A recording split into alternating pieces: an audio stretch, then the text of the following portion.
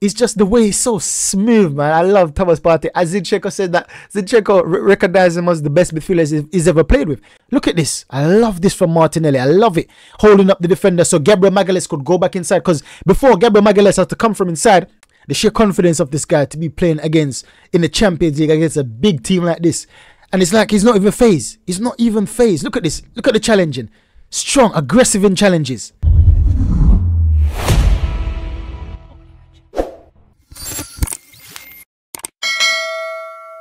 So welcome back guys to another highlights video. We're going to take a look on how the game, how we perform against Shakhtar Donetsk. So we've got a few plays that we're going to look on today and it wasn't the best of performance. I'll be real with you. It wasn't the best. And we're going to take a look into some of the best performers on the night. And we're going to start off with Gabriel Martinelli. We see that he got, I because he came off the keeper to go in, but that was a brilliant shot in the first place. Um, just hitting the post. But we're going to get straight into his action. So we see that Martinelli actually had a very good match. The game was quite open for him. The, from the first minute, you can see him going down the byline, whipping, the, whipping, the, getting the ball in. Nice little link up play between him and Kat, and that's something I realized. Martinelli is improving um, as the season goes on. He's improving with these things. Some small little little details. Like, like look at this ball action. Look at this. Waiting for Calafiori, waiting for him to take away the play, and that's the shot he, he got. So, and to play with his head up. That's what I'm trying to say. He's starting to play with, with his head up. Now, once again, burning down the wing, burning, looking, looking for the pass, looking for the play. Didn't see one, and that was a bit poor. If that pass was, was a bit better, that would have been a goal. Nice here. You see him deep in midfield and, and the defensive um, part of the game, basically helping the defensive line there. So it's like he was everywhere, and I like that because then the play good cross there. Unlucky for Kai. That was a, that's almost a goal for Kai. Unlucky, and that should have been a goal from from Trossard. Maybe I'm being overcritical, but that should have been a goal. And you see him there wrestling, tussling with the with the keeper, putting the keeper under pressure. And I love that. I love the aggression from Martinelli. This shot could have been a Magalhaes has to come from inside to be marking that player. Look at this. Skipping through midfield. This guy, when he finished playing, he was literally out of energy. He was dead on the floor. The amount of effort he put in this match. Him well, Kai is Mr. Um, effort, right? Always putting 100% effort, King, King Kai. But Martinelli is, is growing it is so much, and I appreciate what Martinelli is doing right now for the team because sometimes we only focus on the attacking um, ability of Martinelli, but he's been tracking back so much in different games. He's been in the, the um, um, defending a lot, and this is why he's so spent. His energy so spent most of the time, so he doesn't have the energy to go forward sometimes because he's tracking back to, so much. And this is how we play. This is what Mikel Arteta requires of them. Even Saka said it in a in a previous interview. Said that he would like to attack more. He would like to get in the score sheet more and stay up top more, but he has to drop back in the defense. And it's not just about him; it's what the team requires because he's a team player. And Martinelli is doing the same thing. So I see lots of time Martinelli bursting to get back. Now, if there's a counter attacking, if we win back, win back the ball and try to counter attack, he's not gonna have the same energy because he's burst, he's burst um, coming back to defend. And now to go back up the pitch again is very very taxing on your energy. So this is why Martinelli has been underperforming of sense, right, in, in recent times. This is one of the reasons I should say. The other reason is he hasn't, he didn't have that link up play with a good left back, I should say, or not a good left back, but a, left back that is attacking minded. We see that Calafiori is attacking minded. Last season, at the end of last season, he didn't have that, right? If you remember, sometimes Kiwior was playing there, so he didn't have a, a player like like um, Calafiori or Timber on that side, right? Zinchenko sometimes, but Zinchenko invert too too much. Zinchenko doesn't really go down the byline to help him. Zinchenko inverts a lot, so he still didn't have much help from Zinchenko.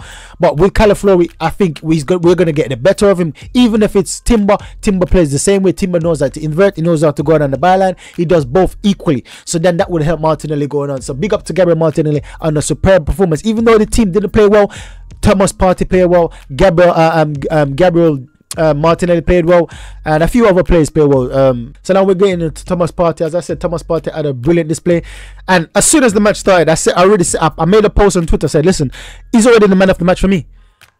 Thomas Partey is already the man of the match. The way he dictates the midfield, he's just it's like he's the lone midfielder. So because most of the time, look where Declan Rice is. Declan Rice is on the attack most of the times. When Thomas Partey is on the ball, Declan Rice most of the time. Where's Declan Rice? He's in attack. Calafiori most of the time is with Partey, inverting him with Partey. Look, you see Calafiori right beside him. Declan Rice is high up the pitch on the number eight left hand side.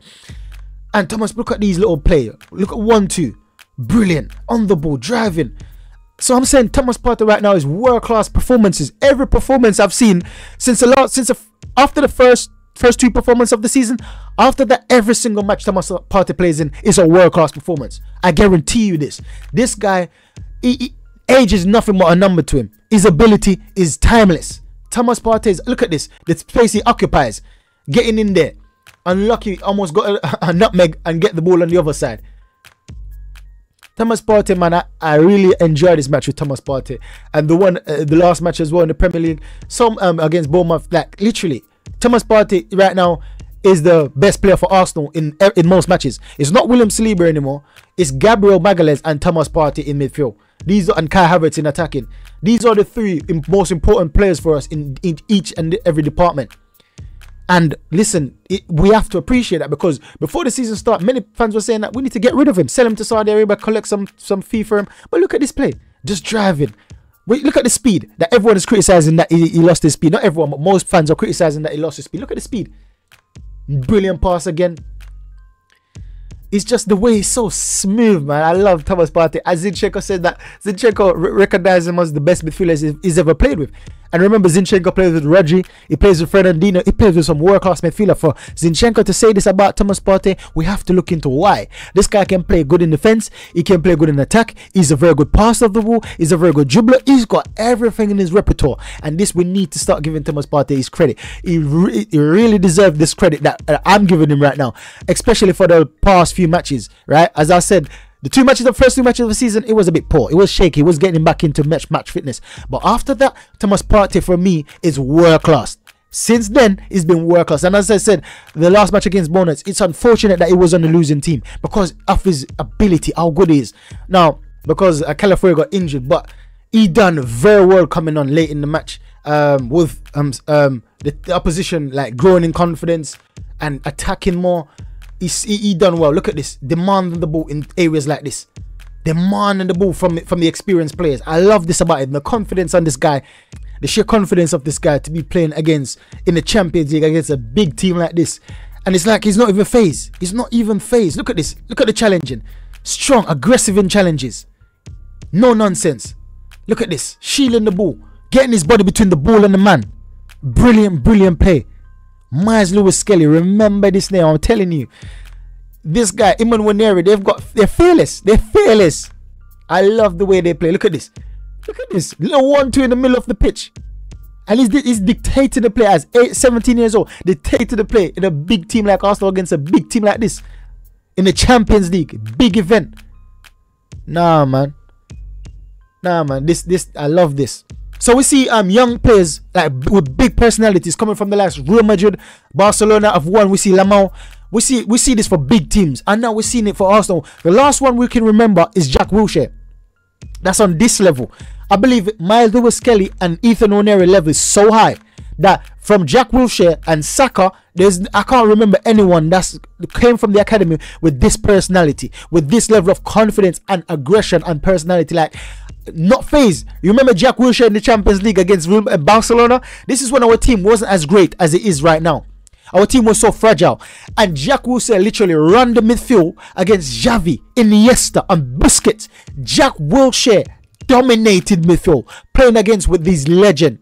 This is what Nwaneri and Skelly reminds me of the fearlessness in them. And I saw a report that Jack Wilshere is leaving, and it might be a negative for Dowman. I heard um, a report came on that Dowman is disappointed, and I don't want to see that. I can't. We can't afford to lose any more youngsters of this caliber, of this kind of quality. And Dowman is the next one in line, I would say. That's after Skelly and Nwaneri is Dowman coming through because we got um we lost Chido and we can't be losing Dowman. So I don't know what Arsenal need to do, but we need to get Dowman feeling happy, feeling sweet because I heard a report saying that he's a bit disappointed because we could have done more to keep Jack Wilshere. Now it could be a rumor, it's, it's possibly a rumor, but I I don't know. But my point is that we need to do everything we can to keep quality players like these because players like these with this confidence, with this ability, with this personality, only the big teams produce them. We see Chelsea producing lots of young talents over the years, and not one of them. Well, there's a few, one and two, but the, the amount of money Chelsea spend on academy, there should be more than what they have right now. And you see, with us, we, there's so much coming through right now with us, and we're improving our academy. Now we need to find ways to keep our top talents. We kept two in Nwaneri and Skelly. We need to keep Dowman. We can't let Dowman slip through our fingers like Chido. We can't. So thanks for watching, guys. Make sure you like, subscribe, and share. Help me on my journey to 10,000 subs. Much appreciated. Thank you very much. Goodbye.